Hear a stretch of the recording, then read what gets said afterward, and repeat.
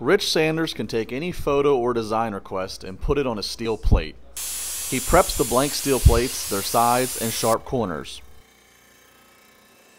He then has a special laser process which he's patented to get the initial image or design onto the metal. I have to do a lot of graphic design on it first, kind of optimize some shading and some settings, but what it's doing is it's actually taking off layers of coating, which is what I have the patent on.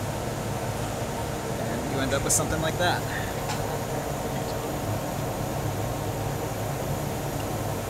After that, it's powder coating time.